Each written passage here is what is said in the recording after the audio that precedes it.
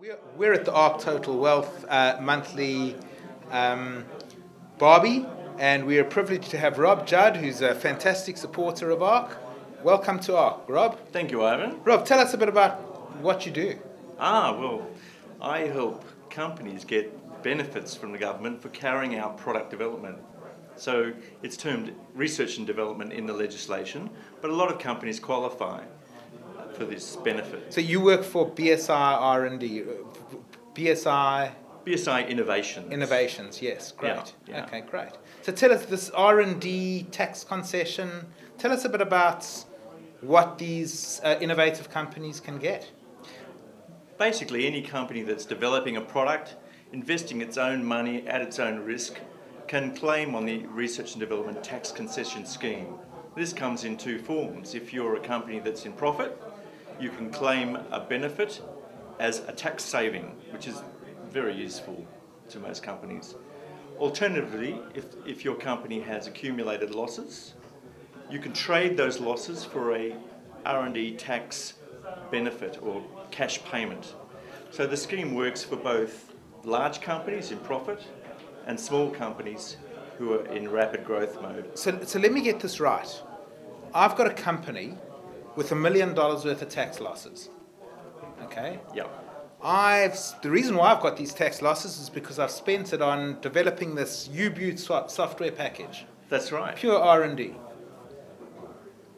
I submit a claim for a million dollars and the government will give me how much back in cash? If you submit a claim for a million dollars, your benefit will be 250,000. That's the 25% on top of that million, but you'll get 30% back on the 1,250,000. So 30% of that is um, about 40,000 roughly. So the, what? So if I spend a million dollars, I'm going to get what? 400,000 or 375,000? 375,000, that's right. 375 grand back in cash? That's right. But I lose my tax loss. You lose your tax loss because. But who cares?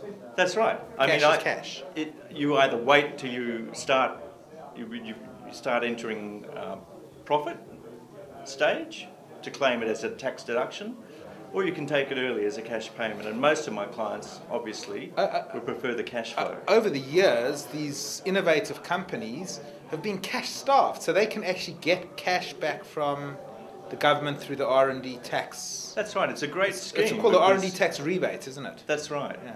It's uh, a great scheme because it's giving money to high growth companies that are developing useful products when they need it. Tell us a success story. A success story.